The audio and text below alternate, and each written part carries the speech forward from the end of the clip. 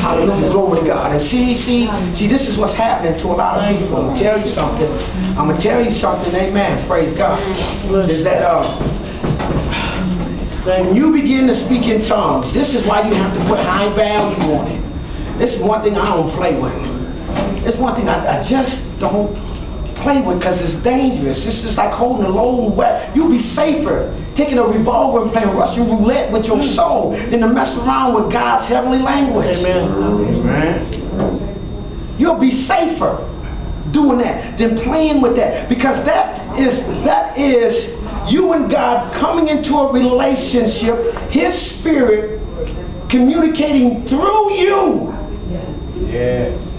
It's, uh, his language is communicating through you. That means that when you, glory to God, when you begin to speak in tongues, there is a revelation even though you might not understand it, because and that's why he tells us to pray with an understanding. Come on, somebody. Know what you're praying about. Oh, yeah. Come on. Discern my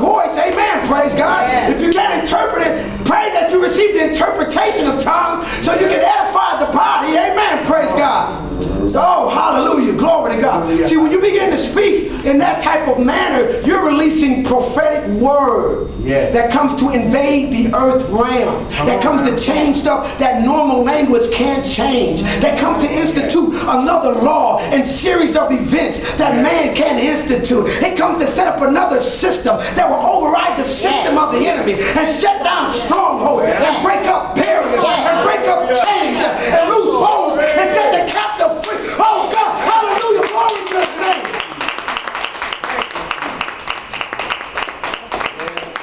See, the, the Spirit blows. It comes where it lists. That's what it says. Mm. You don't know when it's going to come and when it's going to leave.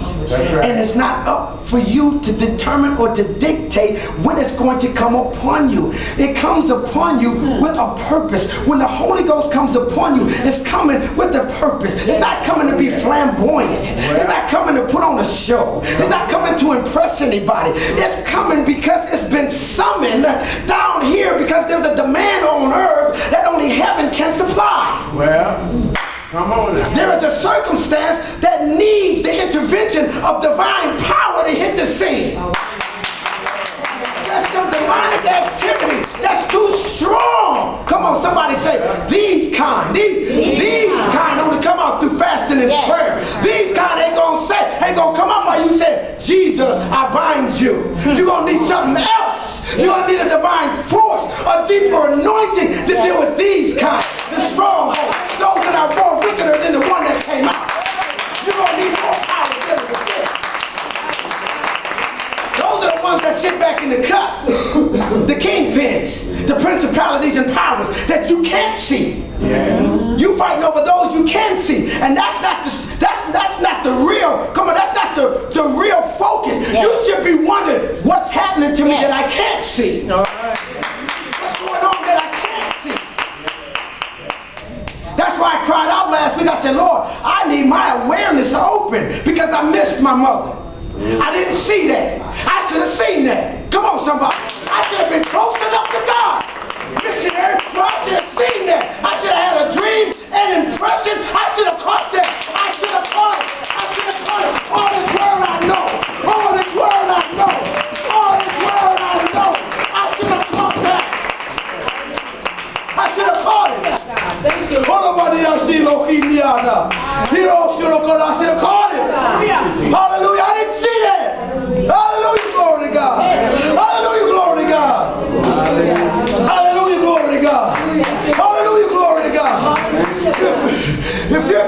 connection with God, you speaking in tongues, and allowing you to see the unseen, you need to go back until you get filled full. Yes.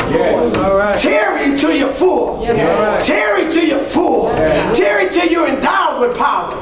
Not just feeling the rainfall. Just not a little trickle. Just not a little shake. Hey man, just not a little uh, uh, doing it like somebody else. No, you stay until you endowed. When you where he bestows it on you. Where he feels you. Where it overflows. Where you can't help yourself. Oh, come